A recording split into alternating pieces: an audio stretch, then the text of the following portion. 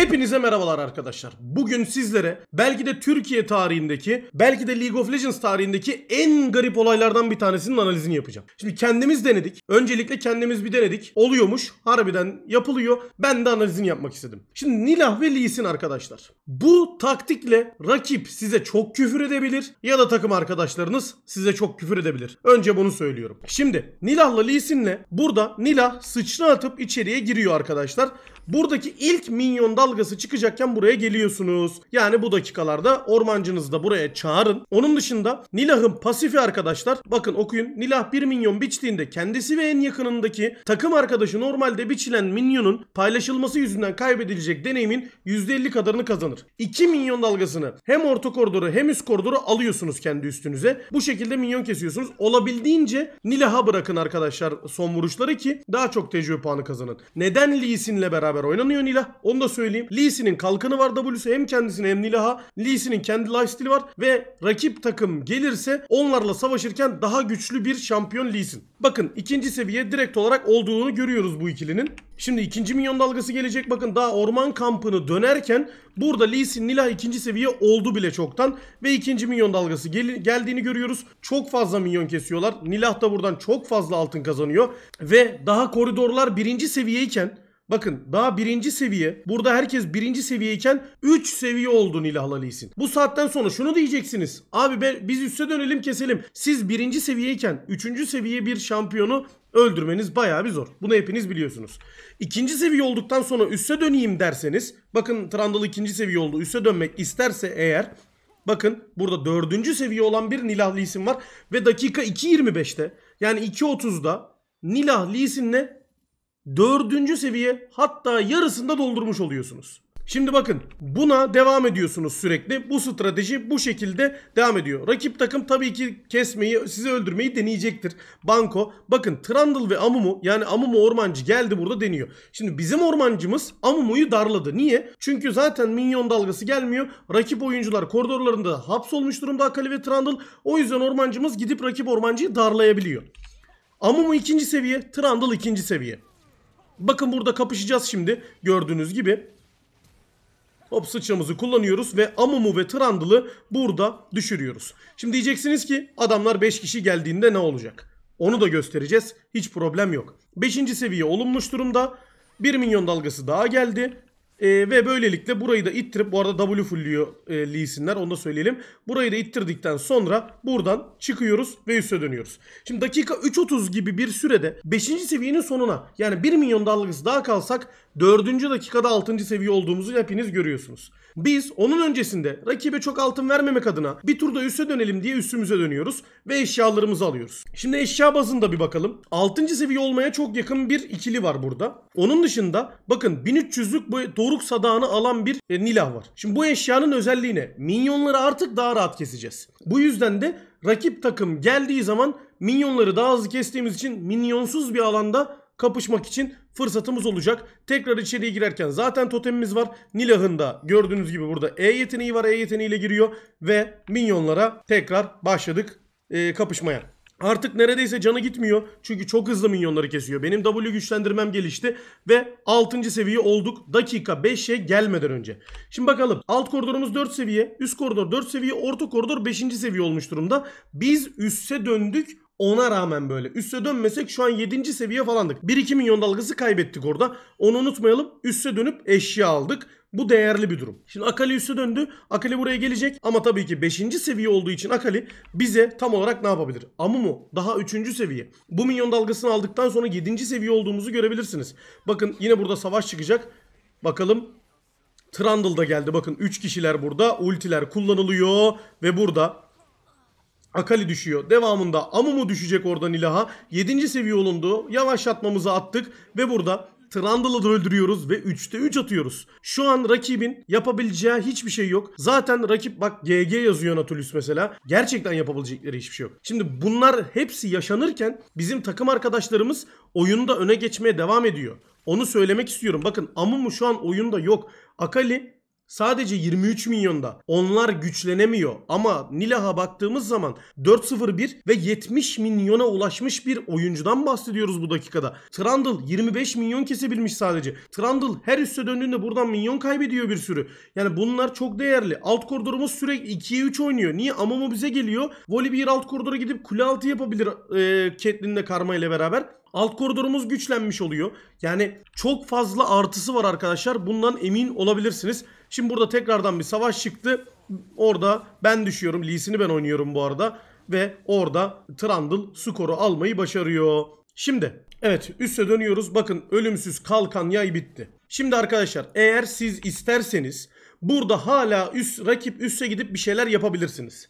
Ama eğer istemiyorsanız siz gidip şu andan itibaren takım arkadaşlarınızla beraber vakit geçirebilirsiniz. Atıyorum üst koridora gidip oyununuzu oynayabilirsiniz. Bu Nilah zaten bu maçı taşıyabilir. Ama biz diyoruz ki bir kere daha gidelim. Çünkü çok güçlüyüz. Ölümsüz kalkan yay bitti. Benim de artık bu eşyam var. Minyonları çok hızlı öldüreceğiz. Gel bir kere daha deneyelim diyoruz ve tekrar buraya geliyoruz. Bence mantıklı olanı yapıyoruz. Bir kere daha gelmemiz güzel. Şimdi bir kere daha geliyoruz. 8. seviye olduk. Tekli koridorlara baktığımda daha 5. seviye olan var.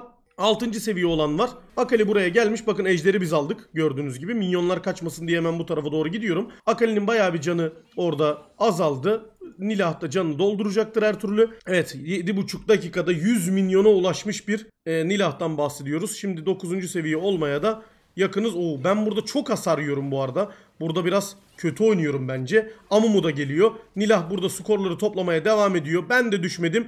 Ve gördüğünüz gibi rakipten 4 kişiyi çok rahat bir şekilde yani Nilah daha ölümsüz kalkanyayı yanlış görmediysem patlamadan burada rakibi düşürmeyi başarıyoruz ve 9. seviye olan bir Nilah var. Benim de sona kaldı. Şimdi bakın alt koridordan Nautilus falan buraya geldiği için Kayısa buraya geldiği için alt koridorumuz kuleden plakaları almaya devam ediyor. Trundle gelmiyor. Akali geldiği zaman burada kaybettiğim milyonlar bakın kulenin yediği hasarı görüyorsunuz. Bunlar çok değerli şeyler. Yani takımınıza da eğer takımınız biraz biliyorsa çok gayet güzel şeyler e, kazandırabiliyorsunuz. Nilah'ı burada yakaladılar. Bakalım Akali'nin ultisi de varmış orada. Nilah'ın ölümsüz kalkan patlıyor.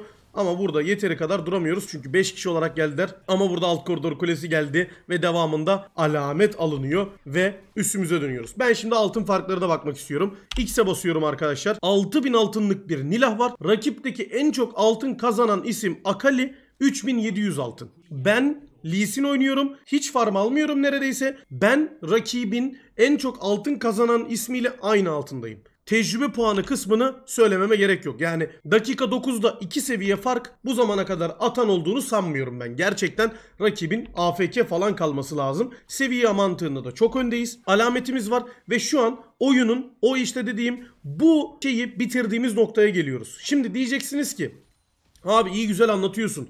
Ama bunu denerken bunun counter play'i ne?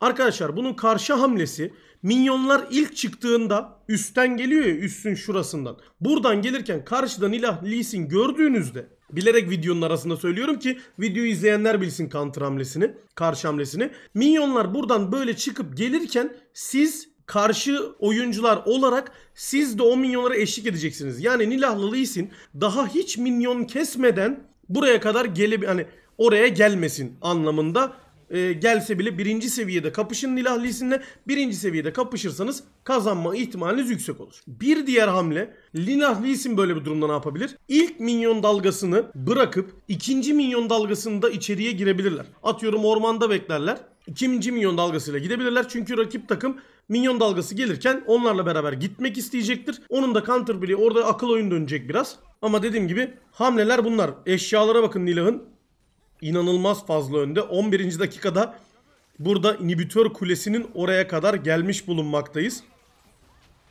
Amumu geldi içeriye. Amumu'ya bir tekme attık şöyle bir. Hani Nilah'ı korumak adına. Trundle orada ultisini kullanmış Nilah'ı ama tabii ki Nilah'ı düşürmek baya baya zor. Ultisini de kullandı. Sıçrasını da attı orada Nilah. Ve 10. seviye olduk dakika 11'de. Rakip üstte. Rakibi öldürmeye devam ediyoruz.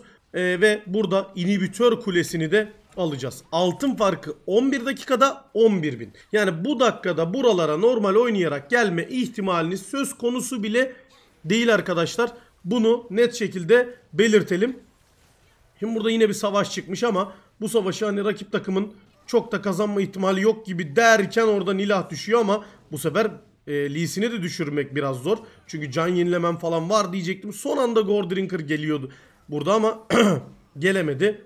Ve burada skorlar gitti rakibe ama burada Caitlyn kule almaya devam ediyor.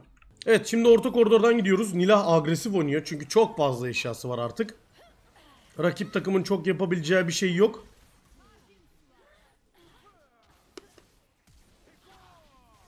Ben orada bir şeyler deniyorum böyle garip garip. Ve arkadaşlar hani bu şekilde gördüğünüz gibi dakika 13'te çok fazla öne geçip siz de bunu deneyebilirsiniz. Ama lütfen denerken dediğim mantıkları lütfen unutmayın arkadaşlar. Çok değerli 2 inhibitör dakika 13'te.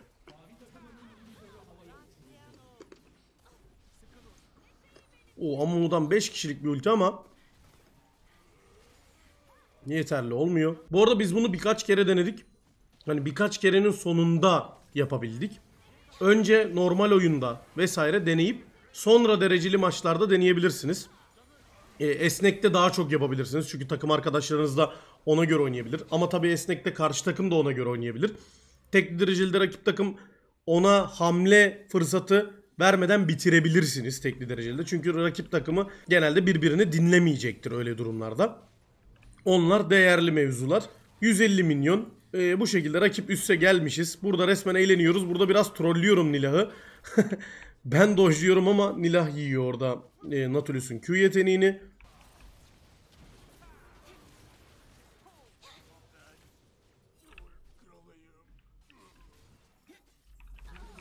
Evet bundan sonra arkadaşlar siz baron alıp almamak işte ne bileyim baronu beklemek ejderleri beklemek alt koridora gitmek şu an mesela biz alt koridora gitsek 3 tane inhibitör açacağız ama biraz da eğlenmek adına buralarda vakit geçiriyoruz hani rakiple 5 kişiyle kapışmak için falan. Bundan sonrası tamamen size kalmış normal oyun mantığıyla oynamanız gerekiyor. Ama umarım e, belli dakikaları ilk 8-9 dakikayı güzel anlatabilmişimdir. Size yani maçlarınızda umarım sıkıntı yaşamazsınız diye düşünüyorum. Ama kesinlikle ve kesinlikle bence bir iki kere deneyin. Bu olay büyük ihtimal nerf yer benim düşüncem. E, ama dediğim gibi nerf yene kadar bir şekilde oynayın derim ben. Burada yine savaş çıktı. Nilah güzel bir ulti attı ama yeterli olacak mı? Yeterli olmuyor orada. Beni düşürmeleri de bayağı bir zor e, can yenilemem falan var ama hani 4 kişiye karşı da dayanamayız tabii ki. Bunun sonrasında biz gidiyoruz arkadaşlar. Alameti, ikinci alameti de alıyoruz. Artık sıçraları falan atıyoruz biraz ciddi oynayalım diye. Hani artık bitsin de hani YouTube tarafında böyle biraz daha güzel gözüksün gibisinden biraz daha erken bitirmeye çalışıyoruz. Normalde çok ciddi oynasak çok da erken biterdi. Ama dediğim gibi rakibin geri dönüşü inanılmaz zor oluyor. Ve burada alameti de kullanıyoruz zaten.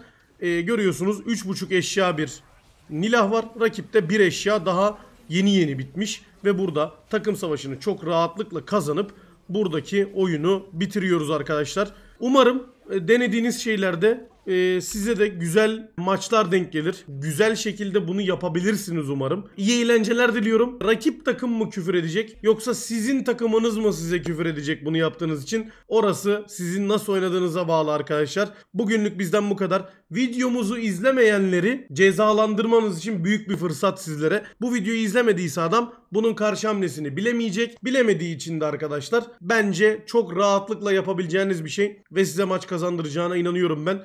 Bugünlük bizden bu kadar. İyi ki varsınız, cansınız. Kendinize iyi bakın. Bay bay.